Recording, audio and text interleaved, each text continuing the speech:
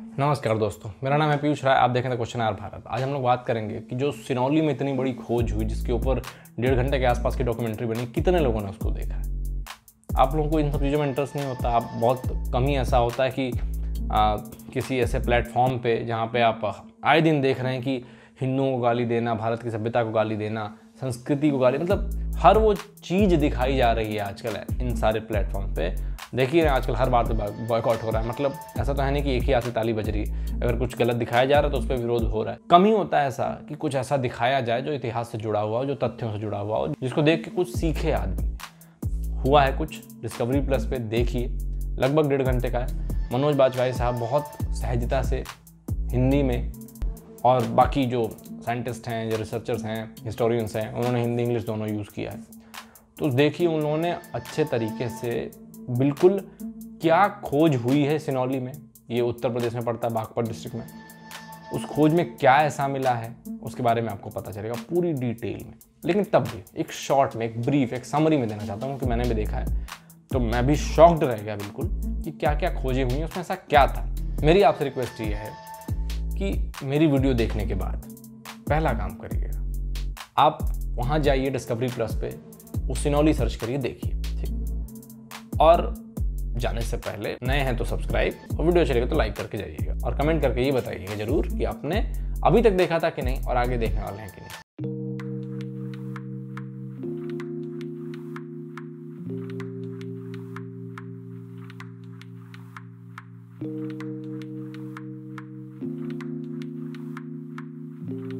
तो क्या था? एक समरी में शुरू करते हैं। सिनौली में किसी के खेत की ज़मीन पे खेती करते हुए कि 2005 की बात है। खेती करते वक्त किसी को कुछ सोने के कड़े, किसी को कुछ मतलब छोटे छोटे मतलब बीट्स कुछ ना कुछ ऐसा मटेरियल मिला जो एक विवाद का मुद्दा बन गया कि मतलब हाका ना जिया कि यार देखो सोना मिल रहा है, कड़े मिल रहे हैं, हथियार मिल रहे हैं, मटके मिल तमाम चीज़ें। और शायद उन सब एक्टिविटीज़ ने काफ़ी डैमेज भी किया होगा। अब खेती कर रहे हैं किसी चीज़ किसी ज़मीन के अंदर कुछ इतना हिस्टोरिकल एविडेंस कुछ मटेरियल दबा हुआ है आप उस पर खेती कर रहे हैं हल चला रहे हैं तो बहुत कुछ डिस्ट्रॉय तो होगा ही। सरकार ने काम चलाओ एक्शन लिया। उस वक्त की सरकार को मैं मतलब मैं क्या बोलूँ खैर? तो काम भर लोग आए देखे उस वक्त किन्हीं कारणों से मैं क्या बताऊँ किन कारणों से आ, वो खोज रुक गई। उसके तेरह साल बाद 2018 में ये फिर शुरू हुई अब मैं बोलूँगा कि योगी सरकार आई, मोदी सरकार आई, उस वजह से हुआ, क्या हुआ, क्या नहीं हुआ तो आप शायद अलग तरीके से रिलेट करेंगे, लेकिन चलिए उस एक बार को सरकारों को साइड में कर देते हैं। लेकिन ये हुआ, खोज हुई। वहाँ पे आपको कई कब्रें मिली। इस तरीके से बनावट थी, लकड़ी की थी वो, लेकिन इस तरीके से बनावट थी, इस तरीके से तांबे के तारों से उनको लपेटा गया था, ऐसी डिज़ाइनिंग की गई थी साइंटिफिक था सब कुछ, कि वो उनका शेप ना टूटे सालों सालों मतलब चार हज़ार साल बाद भी शेप बरकरार थी। कुछ भी हो गया, लेकिन मतलब इतना डैमेज नहीं हुआ कि उसको प्रोडिक्ट करना मुश्किल हो जाए। जस्ट बिकॉज़ उन्होंने साइंटिफिक तरीकों से उस चीज़ को मैनेज किया था, उस चीज़ को ऑर्गेनाइज किया था। ढाल मिली जिसपे उस मटेरियल से, तांबे से और लकड़ी से, इस तरीके से उसको शेप दिया गया था कि आज भी वो शेप है। उससे उसकी थ्री स्कैनिंग करके, तमाम स्कैनिंग करके उसको बता दिया गया कि ढाल है। ऐसे हथियार मिले हैं जो आज भी उसी शेप में हैं। मतलब चार हज़ार साल पहले के एविडेंस कुछ लाशें मिली हैं, यानी जो स्केलेटन्स मिले हैं। डीएनए से हर चीज़ से ये पता किया गया है कि वो लोग, वो सभ्यता, चार हज़ार साल पुरानी सभ्यता जो उस वक्त सिनौली में वहाँ थी, एक तो लड़ने वाली क्लैन थी। महिलाएँ, पुरुष दोनों लड़ते थे। ठीक? जिस तरीके से किसी किसी को ढंग से दफनाया गया था रीति रिवाज से, वो रीति रिवाज हमारे शास्त्रों में मिलता है। हमारे किताबों में, ग्रंथों में मिलता है। ठीक। इससे ये हो गया कि कोई आर एन इन्विजन थ्योरी नहीं थी। और जो डीएनए निकला, वो डीएनए भी यही बताता है कि वो हमेशा से ही थे और कोई बाहर से नहीं आया।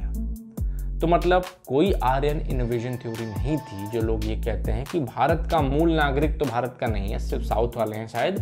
ये सारे आर्यन यहाँ के नेटिव लोग नहीं।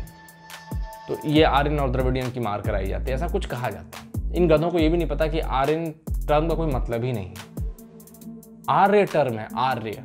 आर्य मतलब होता है, चलो थोड़ा सा बुद्धि दे देता हूँ। आर्य टर्म का मतलब होता है कि एक एक ऐसी पर्सनालिटी जिसके अंदर बहुत सारी काबिलियत हो, जो पुरुषोत्तम हो। मतलब उत्तम पुरुष हो मतलब हाई क्वालिटी का आदमी हो। बहुत सारी क्षमताएँ हों, बहादुर हो वॉरियर सब मतलब हर चीज़ में सक्षम हो मतलब जितनी तारीफ़ की जाए, जितनी चीज़ें, जितनी क्वालिटी जितने प्लस पॉइंट जोड़े जाएँ, उन लोगों को आर्य कहते थे कि भैया आप आर्य हैं। सुब्रमण्यम स्वामी साहब का कहना, उनकी वीडियो है त्रविड़ा था, त्रविड़ा। द्राविड़ा नहीं था, त्र था। कुछ लोगों ने बस टर्म सोचे लड़ाई लगवाने की बात दिमाग में ठान ली और एजेंडा चला दी उसको कई बार गलत साबित किया जा चुका है कई मतलब इंटेलेक्चुअल्स द्वारा, कई बुद्धिजीवियों द्वारा, कई ऑथर्स द्वारा, कई साइंटिस्ट द्वारा, कई हिस्टोरियंस द्वारा। लेकिन एजेंडा चलाना तो आप हिस्ट्री को चेक नहीं करते एजेंडा चलाना तो आप फैक्ट्स की बात नहीं करते एजेंडा चलाना होता है तो आप सिर्फ़ एजेंडे पे ध्यान देते हैं, आप सिर्फ़ फेक न्यूज़ को प्रोपोगेट करने पे ध्यान देते हैं, आप सिर्फ़ एक ही रटाया रटाया टर्म सबके मुँह पे रटवा देते हैं लेफ्टिस्टों के लिबरलों के इस्लामिस्टों के, ये ये बात। यही सबसे पूछना, यही सबको जवाब देना, और कुछ नहीं। इसके आगे पीछे तुम्हें भी नहीं पता, और जानने की ज़रूरत नहीं। तो अभी आपने ब्रीफ में इतना जान लिया कि वहाँ मिला क्या? कई चीज़ें में जैसे मटके मतलब खाने वाने के बर्तन, और पूजा पाठ के कई सामान, और हथियार, और धनुष, बाण। महिलाओं महिलाओं के कब्र के साथ भी मिला हथियार। तो मतलब इससे यही साबित हुआ कि वो भी वॉरियर क्लैन की थी। वो लड़ने वाले लोग थे, और वो यहीं के थे। सारा कुछ उठा के लैब में ले जाया गया है, एकदम सफ़ाई से रखा गया है, उस पर जाँच हो रही है। साइंटिस्टों का ये कहना है, हिस्टोरियंस का ये कहना है कि जितने हमें जवाब मिल रहे हैं, उससे कई गुना ज़्यादा सवाल खड़े हुए हैं और इस पर जाँच और होगी और भविष्य में कई चीज़ें निकल के आएँगी। वहाँ वहाँ तीन रथ भी मिले एक सेपरेटली मिला है दो एक साथ मिले हैं। तीन ऐसे रथ मिले हैं जो लड़ाई करते वक्त काम में आते हैं। लोग आर एन इन्वेजन थ्योरी में दो तर्क देते हैं कि जब बाहर से अटैक हुआ भारत पे, तभी रथ आया, तभी घोड़े भी आए। मैं सोच रहा हूँ चार हज़ार साल पहले ऐसे रथ थे। और ये इन रथों को घोड़े ही खींच सकते हैं। आपको इस वीडियो में भी पता चलेगा जो आप देखेंगे सिनौली वाली।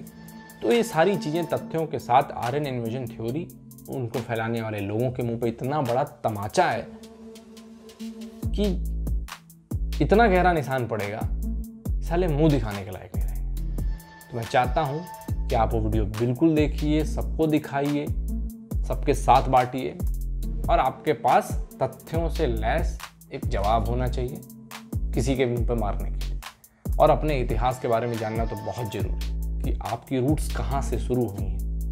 खैर, सनातन टर्म का ही मतलब है कि जिसका ना आदि है, ना अंत है, जो हमेशा से था और हमेशा रहेगा। तो हम कभी बिगनिंग कहाँ जाएँगे कितना पीछे जाएँगे? लेकिन तब भी अवशेष मिलते जाएँगे, हम उस पर रिसर्च करते जाएँगे, ये हमारा काम है। वहाँ के गाँव वालों का ये कहना है कि जहाँ पे मिला है हम, उस ज़मीन को म्यूज़ियम बनाने के लिए देना चाहते हैं।